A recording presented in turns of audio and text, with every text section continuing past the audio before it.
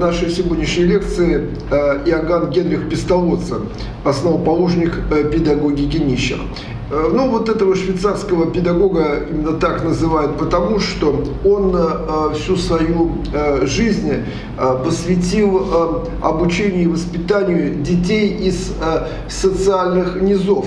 Причем не только вот детей, скажем так, обычных, но и детей с девиантным поведением, то есть с отклонениями в развитии. И э, э, даты его э, жизни таковы. Он родился 12 января 1746 года и закончил свой жизненный путь 17 февраля 1827 года. То есть его деятельность пришлась как на конец 18 века, так и на начало 19. Особенности его биографии таковы.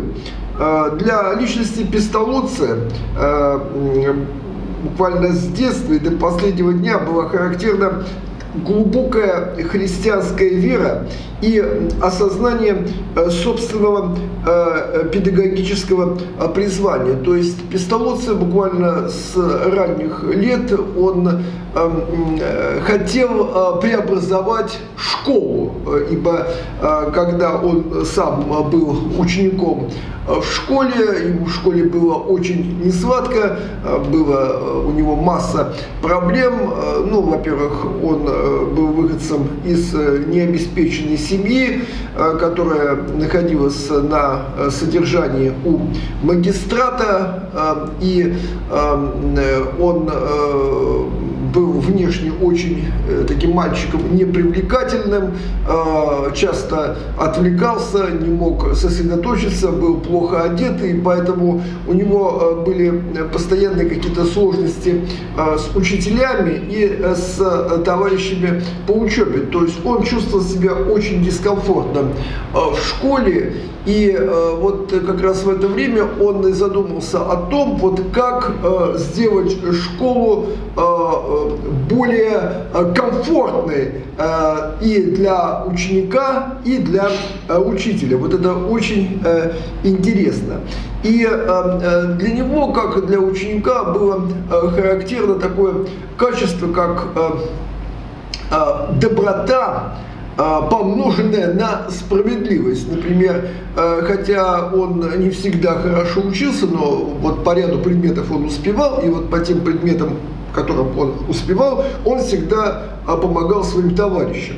И э, если, например, э, в школе происходила драка, и сильные мальчики старшего возраста били маленького, да, то Пестолоцев всегда вступался за обиженного, хотя было понятно, что он э, вот этот бой с, с великовозрастными э, э, обидчиками он не выдержит, да, но вот э, его именно за это уважали, то есть он вот у него в его характере всегда присутствовало два таких очень важных свойства, как любовь и справедливость. И вот эти свойства он пронес через всю свою жизнь.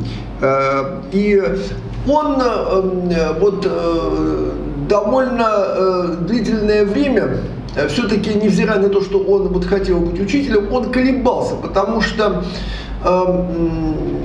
его дедушка был священником кальвинистским, и Пестолоция ожидала тоже вот это вот стезя священнослужителя, но э, в конце концов все-таки он э, э, выбрал э, учительский путь, потому что хороших проповедников, как он сам говорил, э, было много, а вот э, хороших учителей было мало. И он, в общем-то, считал, что он может э, быть э, хорошим учителем. Ну, собственно, вот эта мотивация, она как раз ему очень э, серьезно помогла в его деятельности. Хотя его деятельность, да и вообще вот вся его жизнь, она была ну, довольно проблемной. Почему? Потому что он не принадлежал к миру взрослых он принадлежал к миру детей. И потому как большую часть времени он проводил с детьми, Э, то и э, он и сам э, по вот манере своего поведения походил на ребенка, и поэтому взрослые его очень часто воспринимали негативно. Вот. А дети, наоборот, его считали своим, ну и его это, в общем-то, вполне устраивало. Для его деятельности характерно сочетание теоретической и практической христианской педагогики любви, включая к детям из социальных низов и с девиантным поведением. Он э, создал э, э, несколько эффективных учебных заведений. Э, другое дело, что невзирая на свою вот э, педагогическую э, эффективность, ну, э, эти учебные заведения э, имели в общем-то, некоторые и недостатки. А, например, а, один из его так называемых приютов для а, крестьянских детей из малообеспеченных семей, он был абсолютно бесплатным. То есть он, пистолотцы вложил туда деньги, вот, и в этом учебном заведении детей обучали грамоте, счету, обучали их навыкам э, работы на ткацких станках, занимались с ними физической подготовкой. Вот. Но дело в том, что эти учебные, это учебное заведение было бесплатным. Вот, и понятно, что вот в какой-то момент деньги у него закончились, это учебное заведение прогорело. Вот. Ну и вот все э, другие учебные заведения, которые он открывал, э, некоторые из них были на, э, э, создавались на государственный счет, вот. Э, тем не менее, они всегда вот были бесплатными для э, учеников. То есть это вот э, была такая особенность э, и э, довольно любопытная, потому что вот э, в изучаемый нами период учебные заведения, например, в Швейцарии, неважно какие начальные, школа или средняя или высшая, они э, все э, были э, платными. Вот. Ну, пестоводцы не только был педагогом-практиком, он был и теоретиком, то есть все свои педагогические наработки вот в школах разного типа он пытался осмыслить э, в своих э, педагогических трудах. У него очень много э, всякого рода педагогических произведений, но Основной э, его труд – это книга э, Лингард и Гертруда, мы к ней еще вернемся, ну а другие труды наиболее известны, это э, работа «Лебединая песня» и «Исповедь». Но у него на самом деле огромное количество всякого рода научных работ по педагогике, они переведены на очень многие иностранные языки, и не утратили своей актуальности и э, до сего часа. Вот это как раз интересно, потому что мы говорим, что вроде бы Пестоводцы жил давно, да, то есть э, в конце 18 в начале 19 веков, на дворе стоит уже 21 э, век, да, но вот его э, работа, его опыт, он не утратил своей актуальности. Если мы говорим о теории воспитания Пестолоца, то Иоганн Генрих Пестолоцев видел цель воспитания в развитии способностей личности, заложенных Богом, причем развитие гармоничного и э, всестороннего. А, то есть Пестолоцев был убежден, что вот любой ребенок, э, э, включая вот ребен, ребенка из социально необеспеченных вот слоев населения, вот любой ребенок имеет способности. Вот. И вот эти способности как раз в процессе воспитания, их надо развивать, причем сбалансированно, разносторонне, гармонично. Ну и из этой э, э, цели выходили и э, виды воспитания. Пестолоци на первое место э, ставил э, нравственное воспитание, основанное на э, принципах Библии и семейной культуры. Вот это как раз интересно, потому что вот уже в, в эпоху Пестолоцы, к сожалению, так складывалось в Западной Европе, вот христианские идеалы, они потихоньку, да, уходили вот на периферию, да, вот педагогической, например, деятельности, так, вот. У Пестолоцы все было с точностью до наоборот, то есть в основе нравственного воспитания у него лежали э, этические э, принципы Библии.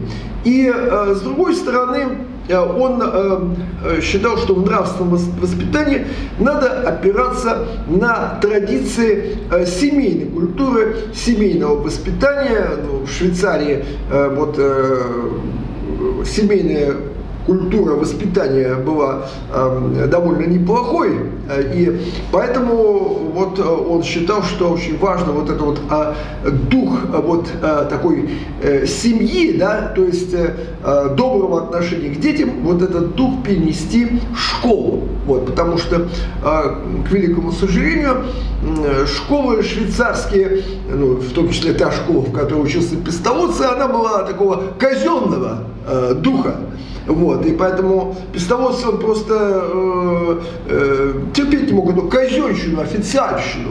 Да, то есть, э, и поэтому он считал, что э, вот нравственное воспитание, ну, конечно, должно быть основано и на принципах Библии, и на вот, принципах семейной, э, э, семейной культуры, семейного воспитания. Вот и тепло семьи, да, его нужно э, вот, перенести как раз э, в школу. Но это и актуально и своевременно и э, сейчас. А второй, э, второй вид воспитания, который предлагал пестоводцы, это трудовое воспитание. То есть он считал, что, конечно, э, вот детей э, нужно буквально с ранних лет приучать к труду. И вот в его школах или так называемых приютах дети вот, например, получали э, навыки э, работы на ткацком станке, например, или навыки по обработке земли, ну и так далее. Вот, э, ибо вот в процессе труда, как считал пестоводцы, ну, человек тоже получает воспитание, да, ну, то есть воспитывается какие качества. Ну, во-первых, настойчивость, да, целеустремленность, взаимовыручка, взаимопомощь и так далее. А, третий вид воспитания – это физическое воспитание. То есть Пестоводц считал, что очень важно вот, физическое развитие ребенка. Вот, и он, например, обращал внимание на то, что физическое воспитание вообще, оно необходимо. Почему? Потому что, например, ребё... свойство любого ребенка – это движение. Да, вот все дети, они очень подвижны. И вот как раз это свойство можно использовать вот в физическом воспитании, в закаливании и так далее, и так далее.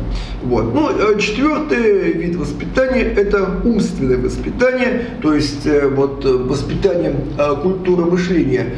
Вот это очень важно, потому что э, надо уметь думать, да, э, это проблема людей, да, часто люди э, не умеют просто думать, вот, им кажется, что они умеют думать, на самом деле нет и э, существуют, да, вот такие а, а, выражения. Не знаю, что и подумать, или я не могу додуматься, вот, или у меня нет никаких идей в голове. Ну, вот это как раз об этом. И э, Пестовоз считал, что, конечно, очень важно вот, э, научить э, детей думать. Причем, заметьте, речь идет о детях из социальных низов, включая детей, с девиантным поведением, то есть с, проблемами вот, э, э, психическими, там, с проблемами умственного развития. Но он, он считал, что вот, э, э, таких детей тоже надо воспитывать, то есть э, и в том числе и интеллектуально, то есть умственное воспитание он распространял и вот э, на эту категорию детей, то есть э, чтобы дети, у детей была нормальная э, самооценка, чтобы они не считали себя ущербными. И вот у пестоводца все вот эти виды э, воспитания э, на практике, они были взаимосвязаны. Вот. И э, он, э, вот все то, о чем он э, писал, это он все это э, э, делал. То есть э, его э, теория, она не оторвана от практики, как это, например, было у Руссо. Хотя э, Пестолоци, он был очень большой поклонник Руссо. Но он э, к произведениям Руссо, да, он относился аналитически, то есть э, он прекрасно понимал, что Руссо э, не был практиком. Вот. И вот Пестолоци как раз опробировал э, многие идеи Руссо на практике, и естественно, что он их корректировал. То есть он не был таким э, э, слепым последователем Руссо. Вот. Нет, то есть вот он э, пробовал э, вот э, принципы, например, свободного воспитания, да, а принципы э, э, природосообразности воспитания в обучении использовать, то есть то, вот о чем писал э, Руссо. Вот. Но у пестолодца все это было э, пропитано жизнью реальной, э, в отличие от Руссо. Вот. Но э, надо отдать должное Руссо, потому что вот он э, все-таки вот эти теоретические как бы, мысли в основном правильно, хотя, конечно, у него были и серьезные заблуждения. Вот. И э, вот э, пестолодцы, он был сторонником всеобщего начального образования вне зависимости от социального статуса учеников. То есть это э, та же самая вот идея, которая продвигал еще в 17 веке Яна Москаменский. Да? То есть Яна Москаменский, мы об этом говорили, он был сторонником такого всеобщего начального образования и вне зависимости от социального э, статуса учеников.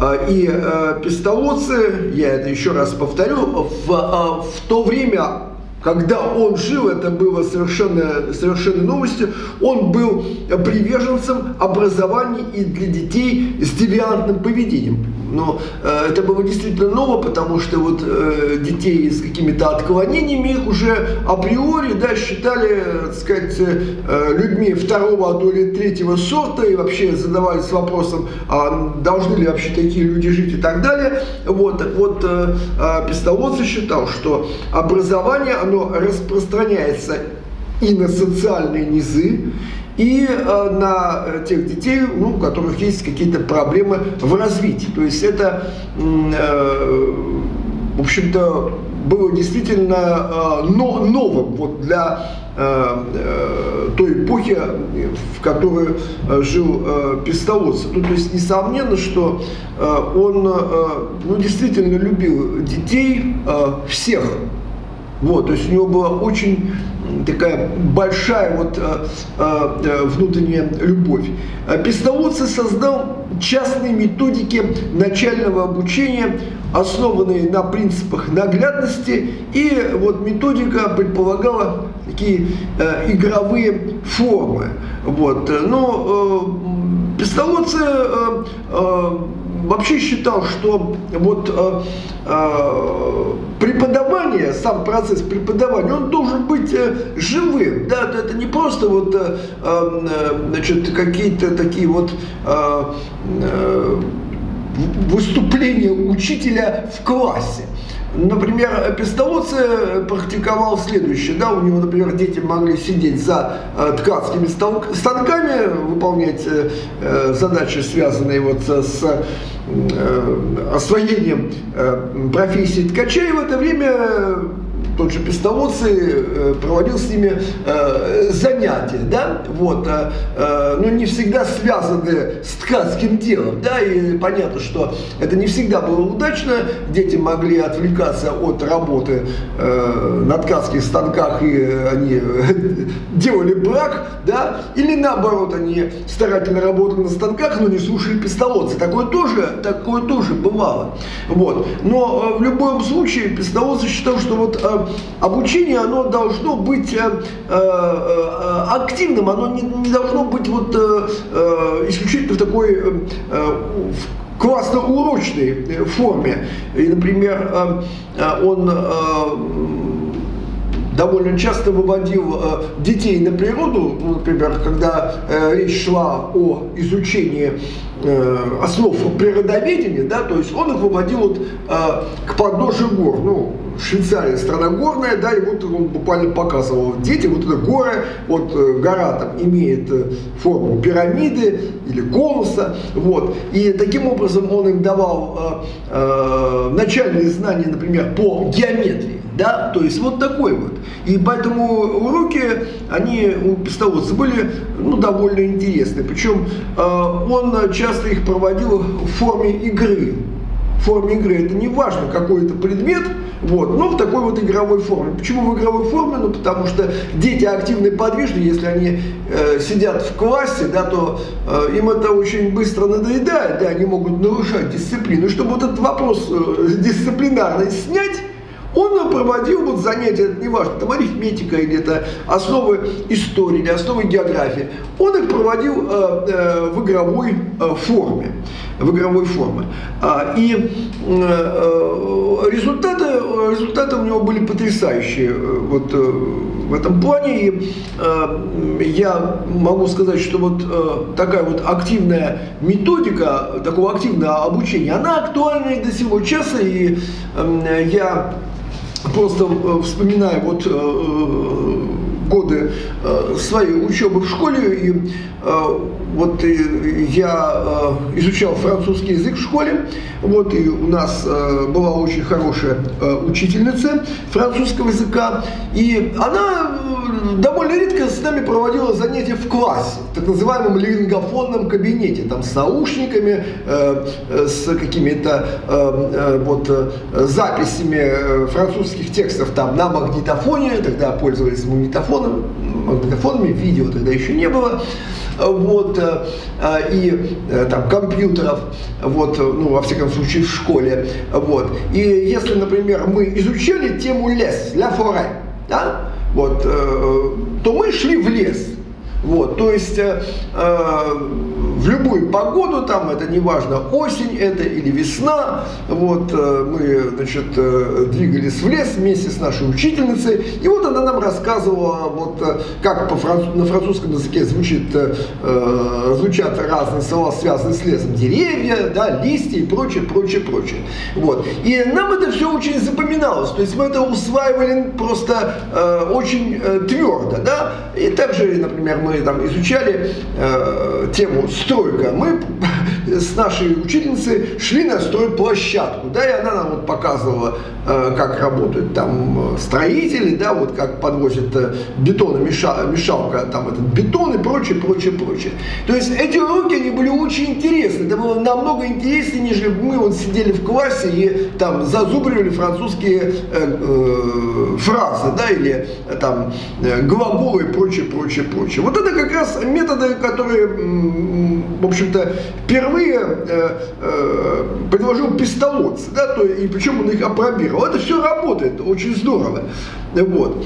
И Пистолотц также э, говорил о том, что очень важно упражнять детей э, в совершении высоконравственных поступков. Да? Ну, это вот, если мы говорим о нравственном воспитании, нравственном воспитании, то он говорит, что мало вот читать детям морали. И тогда вот это чтение морали, оно, дает совершенно обратный результат. Оно просто надоедает, когда тебе постоянно читают мораль, что там нужно помогать вот, пожилым людям и так далее. Вот. У Пестолоца были потрясающие примеры э, в этом смысле. Например, э, он работал э, с, вот, с девятными детьми. Иногда это были дети маленькие совсем, а иногда были подростки. Да? Вот представьте, он работал вот с, например, в Стансе, в городке Станс, с подростками да, с девиантным поведением. То есть подросткового возраста он вообще проблемный, да, так скажем. А здесь еще плюс дети из социальных низов, у которых есть опыт там попрошайничества, опыт криминальный, да, опыт употребления алкоголя, курения, да, и еще плюс с девиантными э, вопросами, да, связанными с, с проблемами с психикой. Вот как с такими детьми работать, как их воспитывать, да, вот, э, значит, э, э, в таком нравственном плане. Какая мораль? Они этого слушать не будут просто. Вот. Э, но тем не менее у пестоводцев были методы работы с этими детьми. Ну вот классический такой тоже пример. Э, вот, э, например, он выводит детей ну, в деревню, да, вот ближайшую. И по дороге, значит, от значит, магазина вот, или лавки, где торгуют хворостом, бабушка несет значит, домой вот эту э, вязанку хвоста. Ей тяжело. И дети, вот эти подростки, которые с пистолотцей вот вышли в эту деревню, они смеются, он бабка еле живая там тащит этот хвост. Пистолотцы не делают им замечания. Там не, так нельзя говорить, детям вот надо помочь. Он ничего этого не говорит. Он говорит, ребят, вот э, смотрите, э, скажем, вы э, за которое время э, могли бы от э, лавки до дома бабушки донести этот хворост. Вот. Э, значит, вот, э, ну, это быстрее, чем у бабушки у вас получится или нет? Вот. Давайте попробуйте. И вот эти подростки подбегают к этой бабушке, берут у нее хвост, несут э, домой к этой бабушке, затем э, значит, э, бегут обратно э, к, к лавке, потому что бабушка э, там э, закупила несколько вязанок хвороста. И таким образом дети помогли бабушке. Вот. И пистолотцы потом их хвалят. Вот, ребята, вы не только шустрые, быстрые, вы еще и бабушке помогли. Это очень здорово. Вот. То есть, и происходит что? Такой щелчок у них в сознании, да? То есть, это, это очень важно. Все, все это очень важно. Или другой пример, может быть, более такой драматичный. Вот э, мы говорили, как раз жил на стыке вот двух веков, 18-19, как раз это был период наполеоновских войн, и Швейцария была вот таким э, полем вот битвы э, вот наполеоновских э, э войск с э, противниками. Вот, и получилось так, что э, вот э, неподалеку от приюта, который, в котором работал пестоводцы, в одной из деревень французские солдаты э, сожгли все взрослое население деревни в амбаре. Вот. А детей не стали трогать, просто э, детей солдаты поставили около вот этого горящего амбара, чтобы они видели, как их э, родители горят. То есть вот такая жестокость вот э, военных лет. Вот. И чтобы они запомнили, что французский солдат, да, он как бы шуток не любит, да, вот, и сопротивление ему бесполезно. Вот. Ну и э, вот до приюта, где работал пистолотцы, дошли вот слухи, что вот такая вот э, была ситуация э, в деревне, которая находилась рядом с приютом. И пистолотцы своим ребятам говорит, ребят, давайте сходим туда, вот в деревню, посмотрим, что там. Вот. А, а тут есть был очень такой интересный момент. Дело в том, что э, вот э, приют, э, речь идет о приюте в станции, в местечке Станс, он был, он содержался на государственный счет, и э, там был бюджет очень серьезно просчитан, и э, каждый воспитанник получал ну, определенную норму э, питания, определенную норму э, одежды. Вот. Э, это важно будет впоследствии значит, э, для нашего повествования. И э, Пестоводце пришел вот вместе с своими учениками, э, вот с этими девиантным поведением, да, вот э, туда, на это пепелище. И, э, и они увидели, ученики, вот этих маленьких детей, которые плакали там над сгоревшими трупами своих родителей. Вот. И Пестоводце просто своим вот этим великовозрастным девиантным подросткам, он им э, задает вопрос, ну что будем делать? Вот. И э, подростки говорят ему, учитель, но э, надо этих детей э, забрать к нам. Столбоц отвечает, но ведь вы же, если мы заберем их, их придется кормить, и вам придется меньше есть. Да, и также одежда делиться придется, хотя, конечно, у них там им требуется одежда, может быть, меньшего размера, вот, а, а дети, ученики говорят, ну, едой поделимся а одежду можем и э, ушить. Вот. И вот эти вот э, подростки, вот эти э, разгильдяи, хулиганы, то есть они вот ну, такие, какие они есть.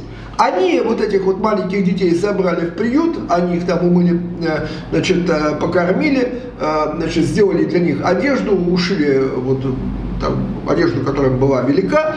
Вот так. Вот это вот как раз э, есть э, вот это э, воспитание нравственное на практике. То есть вот такой вот. И у Пестоводца много таких вот историй в его вот педагогической практике было. Вот.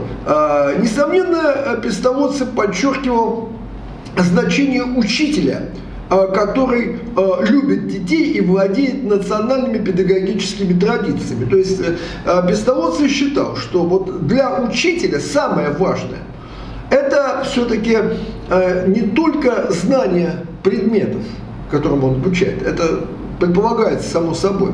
Но самое главное, это все-таки э, любовь к детям, любовь к детям.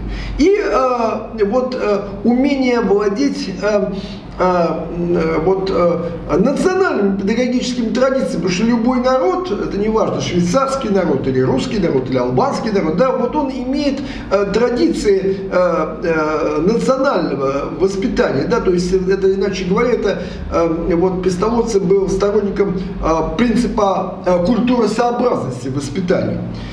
Вот. И э, Пестолоцев Э, кстати, он э, вот э, в Ивердоне, это такой городок, где у него тоже вот было учебное заведение, в котором он работал, он создал учительскую семинарию. Вот, то есть э, специальное учебное заведение, э, где готовились учителя. Причем он считал, что для крестьянских э, детей лучше иметь учителя крестьянского происхождения, то есть социально близкого, то есть который вот понимает э, жизнь вот крестьянских детей. То есть вот такой, это довольно интересно, у него был довольно интересный подход. И, кстати, потом уже, спустя Э, много десятилетий вот эту же точку зрения э, будет э, отставить Лев Николаевич Толстой.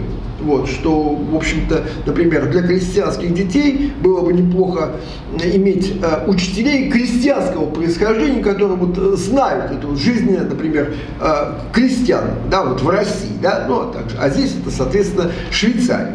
То есть вот э, такой вот. И э, конечно, э, он выдвигал очень э, много требований к учителям, он считал, что учитель должен быть вообще Э, полностью вот э, погружен в процесс э, обучения и воспитания. И у него в Эвердоне была команда учителей, но он работал уже не один, вот, но им было очень тяжело с ним, потому что он мог, у него была семья, но тем не менее вот при всем при том он мог всю свою жизнь да, посвятить школе, а другим учителям это было сложно. Вот было сложно. Вот. Но вот э, э, э, если что-то сложно, это не значит, что это невозможно. То есть Пестолоцев, вот он это умел все это делать, и он вот он полностью был такой человек очень э, посвященный. Вот. И Конечно, если мы говорим о вот, значении деятельности Иоганна Генриха Пестолоца, то можно э, констатировать, что, несомненно, а в его деятельности была явлена максимальная реализация библейских принципов в обучении и воспитании, так э, как на теоретическом, так и на практическом уровнях.